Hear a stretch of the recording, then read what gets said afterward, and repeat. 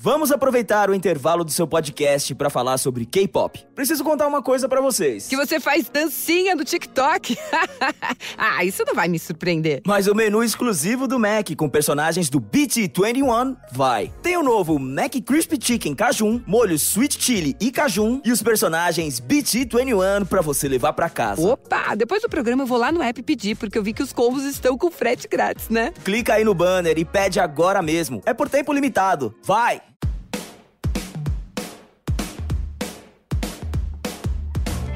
Hello, and welcome to The Shift, the podcast that aims to tell the no holds barred truth about being a woman post 40. Created and hosted by me, journalist and author Sam Baker. My guests this week have both lived fascinating lives. Both are now 55 and have found themselves in this place in life that has brought them a surprising new power.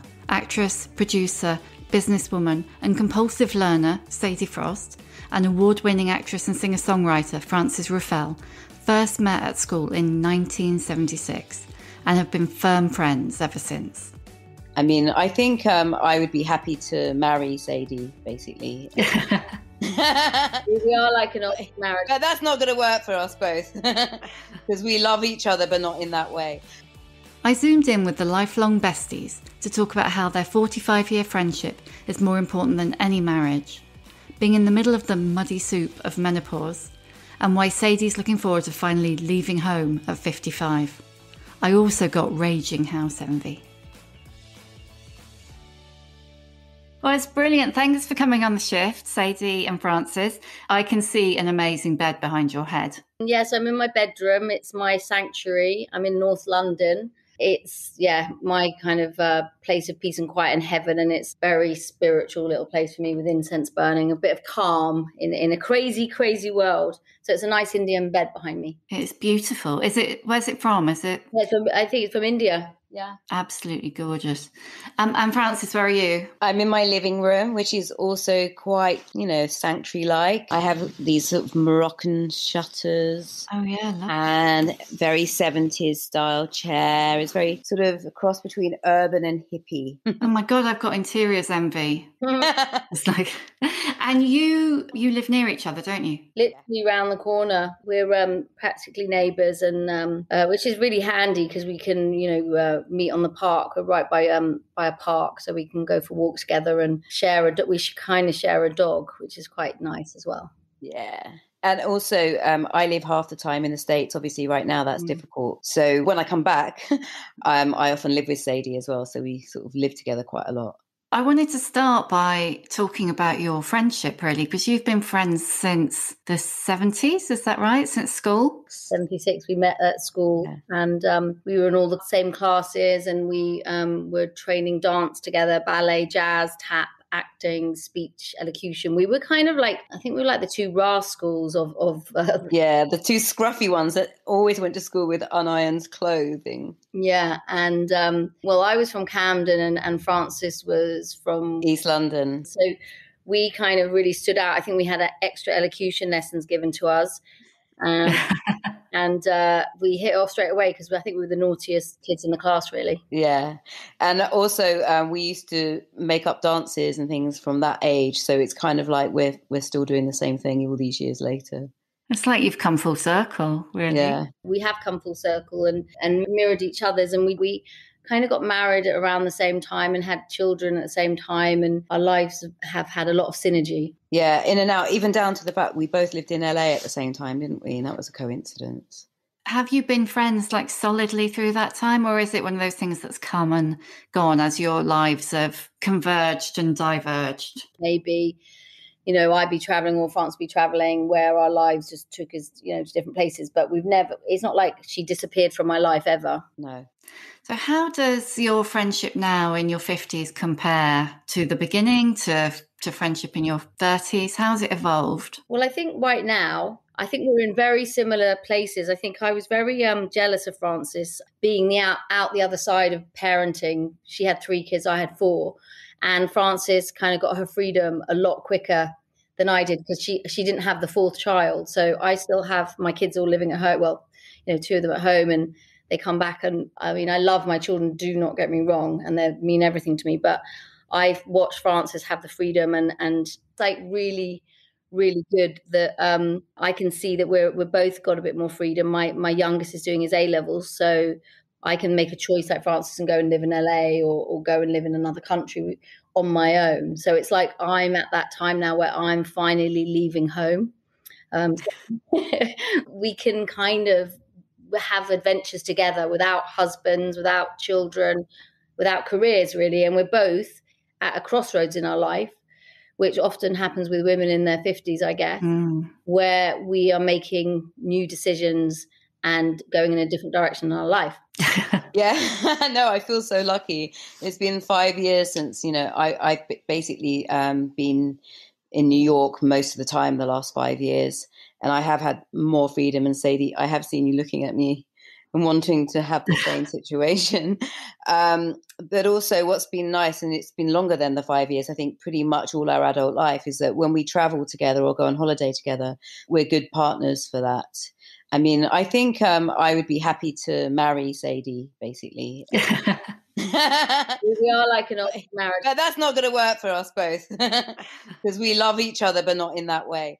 Um, but we get on really, really well, sort of traveling. We've done a lot of traveling together and we've met all around the world, basically. And we know that it's something in the future that possibly we might end up moving in together in little bungalows in India or something. We've got a lot of the same interests as well. So that just helped both of us obviously being um, you know performers me acting and, and, and France acting and singing and dancing and doing things together. And I think our children have all been friends and gone to the same schools. So there's been parallels within our yeah. 20s, 30s, 40s, 50s. It's really interesting because the number of women that I've spoken to north of 40, shall we say, but particularly the women in, in their 50s and above who kind of say things broadly, like you just said, Frances, which is that I kind of wish that I could marry my girlfriends because, you know, they give me everything except sex. And unfortunately, I'm not that way inclined. And loads of people have said to me, like, I really kind of wish I was, but I'm I'm yeah. just not. Do you both find that your your female friendships and your your close friendship is more important now almost than a marriage. Yeah. Definitely. I think I think as well as you get older, well for me, I've got less and less friends. You know, I my family's very important and, and my kids and um, and I have a few very close female friends. I got really bored of socializing quite a while ago because my career has been so busy with different things, whether it's been producing or directing or the yoga collection. So I'm a bit of a workaholic, and I think Frances is as well. So my friendships with my girlfriends are like really important. I don't really go out for many dinner parties, and so my girlfriends are important to me. What is really important to me right now, and I never thought I'd be this person because I always had to be around hundreds of people. That's what I liked. Is I love my space. You know, I need my space. So I think having a friend like Frances and, and being together, we both know that we need our space. So I'll say, right I'm going to read a book now. See you in a day, uh, or yeah. or a box set. So we both are very similar like that. So it's good that we can respect each other's um, likes and dislikes. Is that something that's changed as you've uh, got older? For me, you know, I, I, I like to be with people 24 7. I would always have like one of the kids in the bed or um, lots of sleepovers with friends. I always wanted people like coming and staying.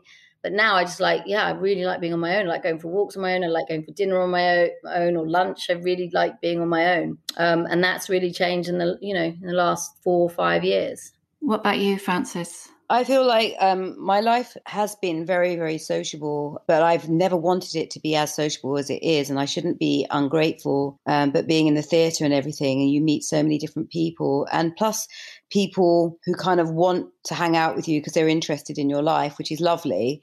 But at the same time, I've always felt it was too much and I craved to be alone a lot of the time. And I love my space alone. Yeah, it's interesting. Um, when I didn't have a home and I was living with Sadie, I noticed how often we took ourselves to bed quite early in obviously separate beds. And um, we just wanted to have that little me time, you know.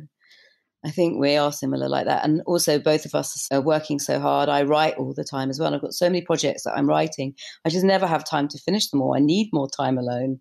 Sadie, I've read that you said that you've been worrying about the domestic stuff for 30 years, and now is like a time to stop worrying about that you know, I have so much domestic stuff to do around me right now. It's just because of, I, I guess, the nature of lockdown. You know, I'm really nearly mm. out the other side, but there's a lot of changes, you know, you know, at some point moving from my, you know, the house that I brought my kids up into a smaller place and maybe relocating to the countryside or, uh, you know, not being in, in London. So there's still a lot of um, tidying up to do. I've got my kids and two stepchildren, so six to 10 kids around, um, which is a lot of work.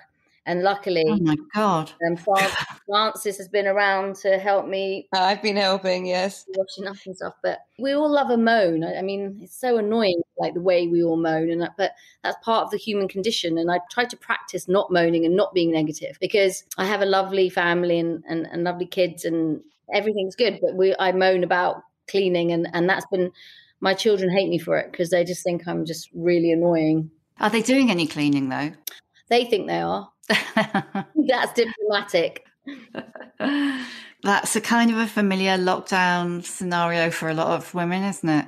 Oh my God, I've got kitchen envy now, Frances. Sorry, Frances is moving around. I'm, oh my God in the beginning of lockdown when when it first happened i was cleaning up so much that after the first week i slipped slipped a disc in my back because i was picking shh, sorry this is my um, sausage dog envy this is my little baby oh girl is it cherry cherry yeah guard dog so I picked up so many pairs of socks and pants off the floor, I think, for the first week or so. And then I, my back was in bed for a month. Yeah. So when I had um, menopause in my, started that peri thing in my mid 40s. And I just like, I knew nothing about it. And I was kind of afraid of it because I thought, right, that's it. I'm finished now. I'm more or less the same age as you guys. And now I'm in my mid 50s. I've just like, hang on, this is great. I find it's better here. Mm. How has it been for you? I've always found um, whatever the hormone is incredibly frustrating, whether it's um, PMT or postnatal. You know, uh, my hormones affect me hugely. Whatever you're kind of, you know, going through in a time of your life, you're going to be affected by hormones and, and there's ups and downs. But it, I don't think I'm out the other side of anything yet. And I'm in a kind of muddy soup of just like sorting my head out and decisions. I'm still very much in the middle of things going on within me. There's a lot of thinking to be done and kind of reflection and challenging yourself. And you know you can make a decision you know you can either become like a very wise person and very gracious. You see women some women going that way and you see other women kind of really falling to pieces and becoming very bitter and neurotic or you know like doing yoga and meditation whatever you're doing it's a daily practice of just feeling you know fulfilled and liberated and hopeful and in tune with yourself it's hard work to feel okay and good, and that's that's been my experience throughout my life. Um, and I just see this stage of your life is very important to to really come to terms with a lot of things that you've experienced. So that's where I'm at at the moment. Because I heard you uh, say, I was listening to a podcast earlier, saying that being a 50 year old woman is a time of facing yourself, which I thought was absolutely wonderful that's exactly what it is. It is like facing yourself, and you still feel like part of you or part of me. You know, one minute I could feel like a, a young girl, 15 year old, and the next minute I'm feeling like, you know, a wretched 50 year old who's like, you know, oh my God, aches and pains or whatever. But then, you know, it, it's just joining the two together and just being complete and being whole and facing yourself and trying to be the best version of yourself you can ever be you know, whether you've experienced, you know, grief or divorce or, you know, I'd like to be a good role model for people around me, young, younger people and, you know, my, my kids and girls and boys and their friends. And I think it's about you know, not look just looking at yourself, but really looking outwards. And that's what I try to do. But when I start looking too inwards and it's about me, mm. you know, like if I'm worrying about my problems and like how I'm feeling about myself, or I'm getting old, or think about death, or whatever it could be, you know, it, you know, you literally can go down that tunnel and go into a really dark place. So you have to do all these things that you're trying to find the light in your life, whatever it may be. And that's why, you know, I can spend an hour, two hours a day meditating and doing yoga. And if I don't do that, I can be a mess and I can be grumpy and all of that stuff. So I'm facing everything, all those fears and all of that stuff. And it's good to have a friend like Frances who we kind of doing certain things together and you know, and it's nice to you, you kind of partner up with people who are on the similar journey to you, you know, and, and that's the people I want to be around. If I see someone's completely course opposites are good. But if I see somebody who's completely out of sync with me, it makes me feel quite uncomfortable. I don't have time to go there. Frances, how has it been for you? Yeah, well, um, I was very early with the menopause actually, and I didn't even realize I was going through it. I never had PMT, so I was very lucky. Actually, I had a really rather young boyfriend at the time who pointed it out to me that I was rather Thanks. hot, and not in such a good way. I, I was like, "No, don't be so ridiculous," and and then I realized he was absolutely right, and it was a bit of a shock. I was, How old I was were you? 39 Holy. so it was such a shock. So it was hard to sort of face at first. And then I had to face it. There's nothing you can do about it. You have to deal with it. And actually, I feel great about it now. Um, I I think I was quite secretive with a lot of people about it. It was like a Mm. stigma at first. I'm feeling as I get older, I'm more open about absolutely everything. I don't feel like I have to hide anything. And, and it doesn't really matter about what other people think because nobody's really thinking about you anyway. They're only thinking about themselves.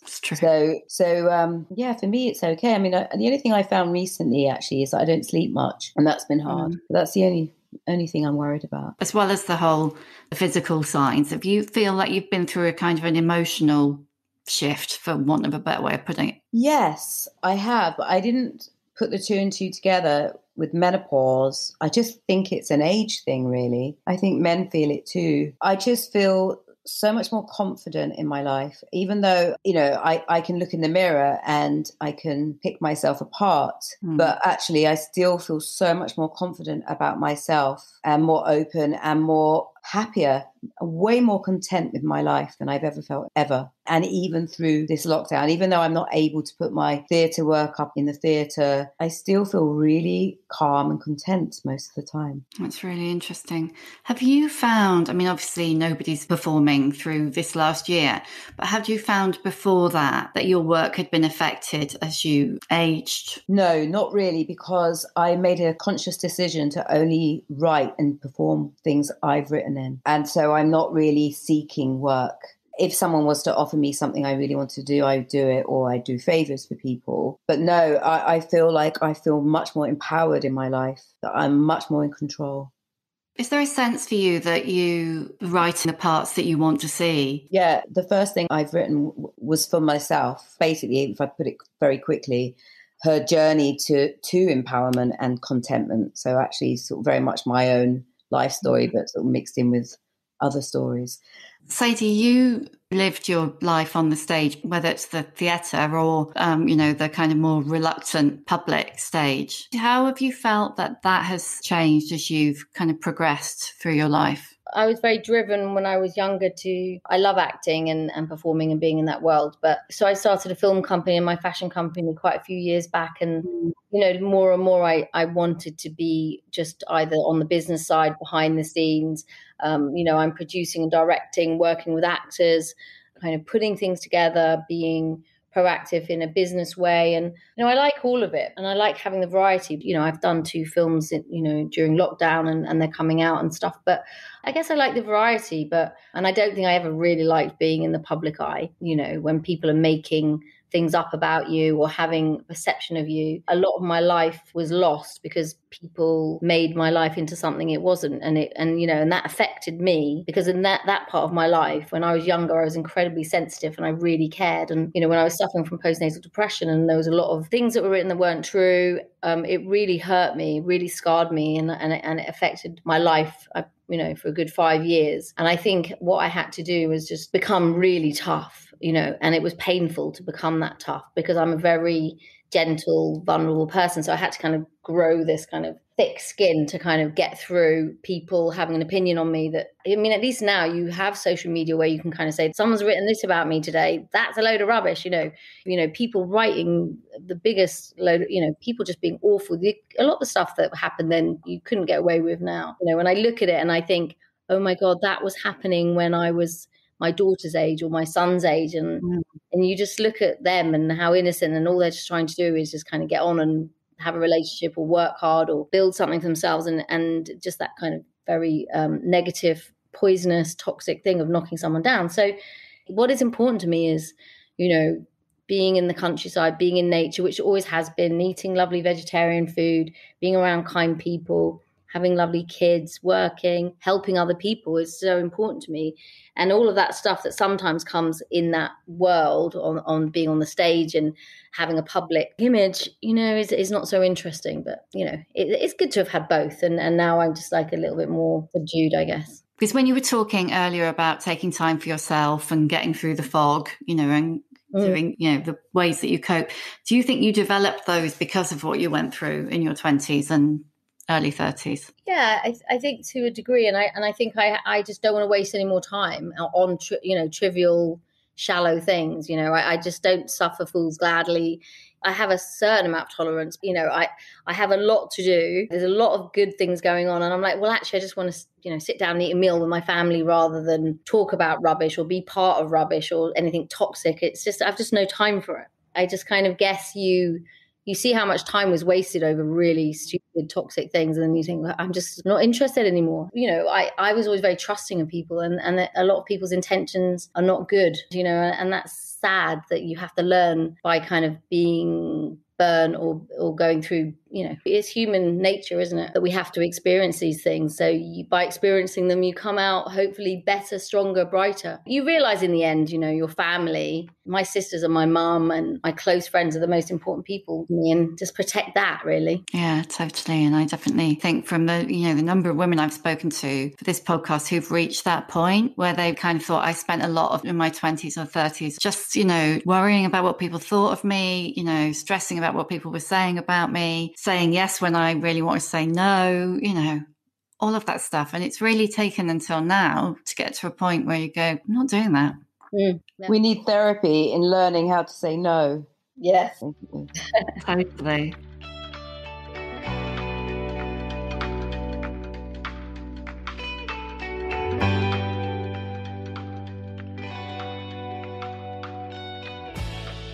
We've touched on both of your kind of incredibly prolific careers and doing loads of everything, actually, both of you.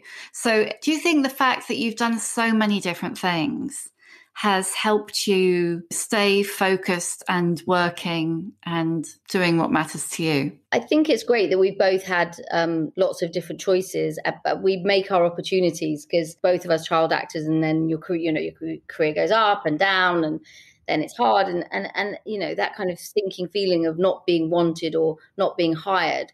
You know we both went out and made our opportunities. You know i went back and did an ma and studied uh, film production and constantly um, learning new skills whether i went and did a, just did a director's course because i directed a documentary and just doing things you know getting an idea you know to go back to school even in your 50s which i did last year and I uh, did this documentary course now i'm doing a cinematography course i'm just doing more and more things that I find interesting. And then, you know, there is time to do all that stuff. And I, I want to learn. And, and then, you know, I guess I'm not getting bored and, and just having a variety of things. There's part of me that looks at once I've done everything I wanted to do, then just doing nothing. But everyone laughs when I say they were like, no, you're never going to just do nothing. But I'd be like, no, I just want to learn how to bake a cake because I don't think I've ever really done that. So that's, you know, like mm-hmm. that kind of stuff. I have, you know, baking. That's one thing I've never done. Yeah, I'm very lucky to have these opportunities and do different things. Um, but I'm looking forward to doing nothing at some point. I never ever get bored. There's always something to do because I'm always coming up with some different idea, some creation,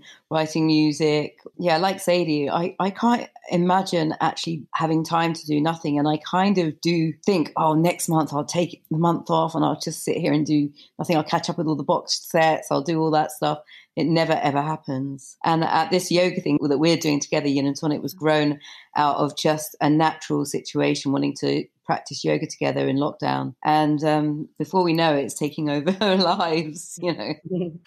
Yeah, tell me some more about that. Well, Yin and Tonic um, came about because, well, Sadie and I have always done yoga together. Sadie introduced me to yoga at a very young age. And so I felt in lockdown that I was looking on YouTube trying to find uh, yoga practices or workouts. Mm-hmm. And it was mainly workouts that were to pumping beats. And I was trying to keep myself fit. And then I realized the sort of music was sort of adding to my anxiety levels, um, which I think we all had in the first lockdown. So I was thinking there was something missing. We need to work out to sort of mindful beats rather than mindless beats. So that's how the, the idea sort of came together. And then Sadie and I, um, as we always practice together, decided to practice together on Zoom and everything together. And then um, when we were allowed to, we became a bubble. And then we started practicing together to the, the original yin and tonic music that we've created. And so now we're, it's just got bigger and bigger. And we've, we've started, I think we've done six videos now, haven't we, Sadie? Yeah, we've done six. Um, six or seven. I think we started doing these little yoga routines and then the kids started doing them with ours or, or close mm. friends and you know we'd send the, a link to them. They could they could practice and people started liking it. And we just wanted to share some connection and some love. And also what's great about it is you have these little routines and then you have Frances speaking you through how to do them and you have this lovely music. It's something we wanted people to discover for themselves. It's very you know, it's very organic and we're not trying to be perfect. And for me, you know, perfection is kind of realizing what your imperfections are. And, you know, I'm never going to be a certain way. All, all, our bodies are different. All our practices are different. I'm always going to have a stiff back because I've always had a, a, back problem. A lot of the time, we are looking on Instagram and some everyone's doing these crazy, crazy poses. Mm. Oh my god! But you know, yeah. they, they might have been a dancer when they were four, or they might be hypermobile. And the whole thing about our practices, it's kind of you know there's different for different levels but some of it isn't too challenging but it's just gentle and beautiful and about you can do it anywhere and you know it becomes part of your day like brushing your teeth and something just to check in and, and connect with another human being our main signature yoga practice, which is 20 minutes long, is, is called the Sunshine Set. And it is quite a simple routine. The only thing is, Sadie and I have practiced dance, so we are very, very flexible. So sometimes to others it can look a bit scary but it's really not and it's not about lifting your leg as high as we do. It's really about just doing what feels right for you and and and, it, and more importantly stay comfortable in your body. We've created these practices for busy people that don't want to do more than 20 minutes 15 minutes. Happy hearts 15 minutes long. And that's a sort of proper workout actually. It's a strong workout but again to mindful music. But basically, it's more about just dipping in and out, having fun. But you can even just listen to the music and watch the yoga and make it a sort of sensual thing. We have also on YouTube, we have the yoga without the instruction. So you can just yeah. hear the music. And with the instruction, I will say that the instruction is very limited, it's very simple and to the point so that the music can shine through. But also, if you want to redo something or check something, you can always rewind, you know, because we're just sharing our practice, not teaching. Is we're not teachers as such, even though we've trained as teachers. I wow. trained as a um, Ashtanga yoga teacher, and Sadie in Kunda dance and Kundalini yoga um, addiction therapy. But you know, so you do you do certificates and your teacher training. So I do a lot of Kundalini and Kunda dance, and yeah, been doing yoga for since I was sixteen. So how many years is that? Many, and I a lot. Um, but got teacher training in in two different types of, of yoga. Um, but more more than anything, it's not really about us teaching. It's it's sharing the practice and and we do actually say that it's um, really for people that have had some yoga experience, but mm-hmm. you could do it if you've not had yoga experiences as well. It's just that I don't explain everything completely like a proper yoga class, mm-hmm. but we're trying to fit this in in 20 minutes so that you can get used to it and do it every day. So it's like a practice that will make your body and mind feel great. You know, to, to fit in 20 minutes a day is not hard. So if you're someone like me who was like the least flexible kid in school, like literally couldn't touch my toes when I was six or seven, let alone now. I mean, now it doesn't even bear thinking about. So I've been to a lot of yoga classes, but I've never really stuck at it because I've always felt like that competitive thing. Mm. You know, and I know yeah. everybody always says it's not competitive, it's not about them, it's about you. And I know all that, but you still find yourself looking at the woman who can like do the what's the really hard one? The crow. Oh, yeah. I can just about do the child's pose, you know. um, I think the sunshine set is it's really I really liked it because you can just like watch it a few times and get and get the gist of it. And it, it's short, so you can keep doing it, you know. When we've taken the instructions away and it's just the music and the yoga, it's like a little short film. I mean, we call it the yoga film but it is meant to be very relaxing. And a friend of mine said, I don't really know much about ASMR. Do you know about that? It's kind of like they people sort of whisper stories. Oh yes, yeah, yeah. You know, and um, it's meant to make you feel good and tingly. But my friend watched our yoga film and said, "Oh my god, it's so ASMR." And I, I obviously, so I had no idea what it is. So I think we have a hashtag now that says unintentionally ASMR. I'm going to watch it when I get off with that in mind, definitely. um, yeah, tune into the one without the instruction. Then that's much more mm. relaxing. Fitness is it's a, a huge thing for women around this kind of stage of life. And I think, I mean, I don't know about you guys, but there's a point when it finally clicks in your head that maybe strength is more important than being thin. Absolutely. I think it's very important to be feeling good that you're you're healthy and your body's not aching. I you know, a few years ago, there was I had a scare where I thought, well, they thought I had like rheumatoid arthritis, but in the end, it was some kind of weird immune infection where everything was painful. So if I got out of bed and I walked on the floor, my feet hurt, or everything was hurting, just aching. I was like, oh my god, this is old age, and you know, I was just like, oh my god, I feel it was so much pain, and then it's just to be pain free and that you know that you're supporting your bones. You need, you know, strength to support your bones and to be eating a diet, you know, and it's just crazy that if people are constantly dieting, maybe three times a year you could wear some dress that you want. You know, I was slim and skinny early on in my life, but that was just how I was. And now it's like I'm not going to be constantly fighting staying slim. I mean, I'm not going to win that. That I am this shape now and I should just celebrate this shape. This is how I am. I do a lot of exercise. I'm healthy. I eat well. What you realize now is that everything you're doing, you know, you're doing for yourself. It's not like I'm in some, you know, fad where I drink green juice or I'm seen at this class or I'm doing this because that's cool. You know, everything you do in your day from the moment you wake up and you open your eyes and whether you're doing meditation or being on the phone all day and wasting time or doing something constructive everything you do is you're putting everything in the bank for yourself emotionally spiritually physically whatever. And that's how i see my day. So if somebody you know wants to do something that is going to take away me having the time to put that in you know and and also i'm talking about happiness as well with your family and friends but if, if something's taking away from that and i'm not going to be able to put everything in the bank health bank or whatever it is you're doing all day to make yourself feel good then it's a negative thing and i shouldn't do it. So that's how i just see it really Let's talk about um, as well your other coping me- mechanisms. Obviously, there's the yoga, and you're pretty. You're both pretty religious about doing that. Mm-hmm. Yeah. What What else keeps you sane? Going for walks is really important for me, and I haven't had one today. I woke up this morning, like Frances. I'm a really bad sleeper, and I woke up at 3:30 a.m. this morning. Oh. I've always been a bad sleeper, like literally since I had kids and I put on um Insight Timer and I listened to that one yoga nidra and then I did another one.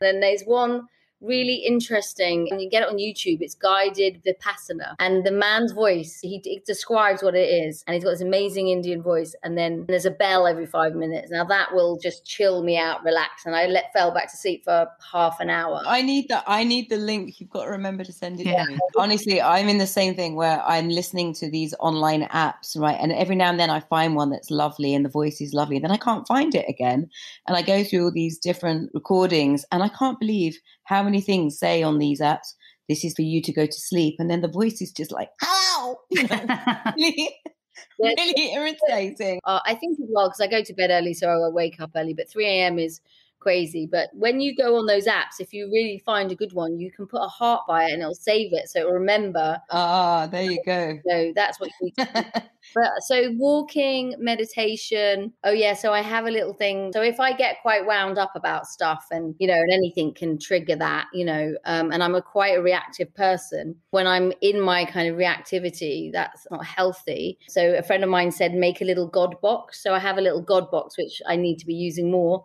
and I did give them to people for Christmas. And basically, so if I'm having an issue with a work friend or family member, you know, that's kind of ruling my head. And it's you know, I put it, write something down, put all the power of that into that, and and then put it in my God box, and then it actually really helps take away certain things, and you just have some acceptance and and just hand it over. And then if you have that kind of horrible, icky energy block where you're feeling, you know, my best friend Zoe, she's a brilliant woman, and she always helps with all this stuff. And, you know, really, if I'm feeling that trapped negative energy, is to um, do tapping. Tapping's really good, really works. Do you need to know how to do that? I think you can go on YouTube and do it, but she's taught me how to do it. And it literally, if I have anxiety or I'm wound up or whatever I am or frustrated with one of my kids or somebody, I, I mean, I just start doing that and it, and it really does work. So I think there's a natural, it's just unblocking energy. I, I'd like to do a proper course in it because I think it really helps. Add that to your courses. Yeah. I don't think you're ever going to get to the point where you're doing nothing, honestly. It's No. never going to happen. I'll, I'll bake the cakes. Yeah, okay. Mm. I do love the sound of the God box. Like you get an annoying email or an annoying text, my, and you just reply. here's my God box. Oh, it's gorgeous. Yeah, so you decorate them how whatever your God is, and then put the little things in and put little messages in here, things I've written. That is kind of like two like mini crates, isn't it, with two doors? Yeah, and basically you go back afterwards and you look at like, oh my god, I wasted all afternoon being upset by that. That was crazy. It's back to that waste of life thing, isn't it? All those things that you just Mm. spend time worrying about that you just can't work out why you did when you look back on it. I know, nuts. Hmm. Completely crazy. I'm going to ask you the questions that I always ask. What's your emotional age? Fifteen, no, it's not. especially when I talk to my um, my daughter Iris. I feel like I'm a teenager. I think we're both like that, but I think that we're both actually sometimes we're about 70 and then we switch to 10 year olds. You know, it, I don't think there is one age. My kids say I'm the most immature person they know. No, you, you're very mature in so many ways. I, I respect you a lot, Sadie. Aw, thanks. Do you think you're more in touch with your teenage you as you've got older? I've just always felt felt very stuck there. You know, done a lot of therapy on that.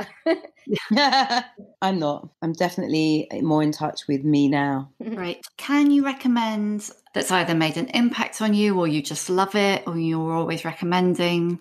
Can be anything at all.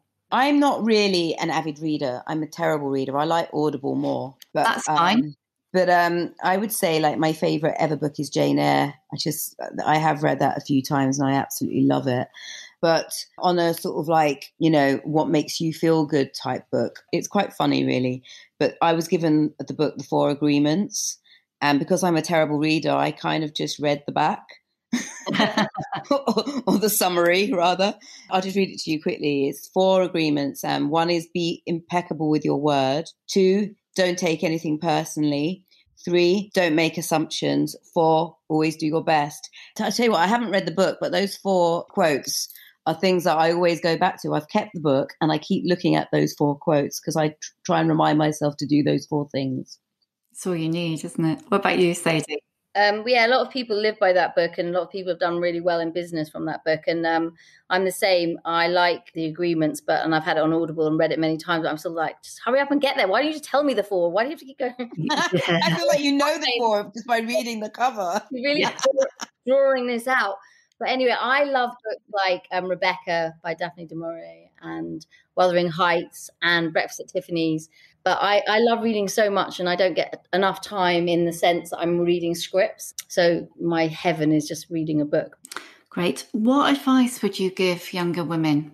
To be true to yourself. Well, I was going to say, and always be truthful. And I think also enjoy your young youth. Really enjoy it because it's amazing how much time I used to spend criticizing myself, and I wish I didn't. Yeah, don't take anything for granted. I think I spend a lot of time with, and so does uh, France with her daughter and um, my daughter and her friends, and you know, and the insecurities they have remind me of the insecurities I have, and I'm just like, don't take this for granted. Enjoy this, you know. And there's a lot of um, liberation and strength in this generation now that I don't think I had as a teenager. I do see there being progress and you know their insight and their maturity and their voice. They have a much stronger voice than I ever had. I never spoke out. So I think to yeah, be truthful and and speak out and be who you are. It definitely does feel like they put up with a lot less shit than we did. Absolutely. They really Yeah. yeah. Who is your old bird role model? Vivienne Westwood. and we both say that and um, i love her to death and she uh, she just uh, was in my documentary and she was fantastic and i've known her since i was 16 helen mirren as well and my mum, Sylvia Young. She literally is a successful woman who came from absolutely nothing. amazing woman What's she doing now? How is she, how old is she now? She's still she's 81 and she's still working and she's also writing her biography, which is lovely. Oh, that'll be something. Yeah. Uh, what's your superpower? Surviving on two two hours sleep a night. That's pretty much a superpower. Oh God, it really is. I don't know. what is my superpower, Sadie? Um, Do I have one? Do I have any? I guess my superpower is, yeah, husky singing. And lastly, how many fucks do you give? Right now I don't give any fucks. But then this morning I did give quite a few fucks. Had a little argument with somebody and I got very upset and then and then it was just like that whole thing of just letting it go. And so I don't really give a fuck right now. You, you can work through anything and and yeah. I want to say I don't give a fuck because I don't care about what other people think about me. Um, but I do give a fuck because I, I don't want to upset people in their lives. I don't want to say the wrong thing that's going to upset someone. But I also um, have to be truthful as well. So, so yes, I do give a fuck. yeah, quality fucks maybe, yeah. Yeah, as yeah, opposed to not wasted fucks. Mm, yeah. yeah. Okay. Got there in the end. Yeah. Thank you so much. I quite fancy coming and living in your Indian bungalow Yeah. when you're old birds. Get three of them. Yeah, we'll send you a postcard and come over and see us. yeah.